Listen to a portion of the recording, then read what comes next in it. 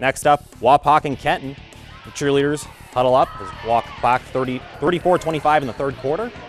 Garrett Seifring puts up the three and drains that one.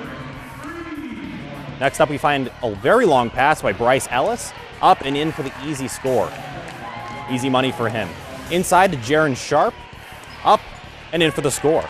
Cuts the Redskins lead to five. They're back in this one. Jaded Cornell then drives it up in for Kenton. Now, do- now down 39 to 46. Adam Scott hooks it in, and that one goes in. Now Sharp. He hits the three. He's a sharp shooter. Makes it a two-point game. Then Scott lays it in and one. Three-point play for him. Now it's Cornell driving to cut the lead to three.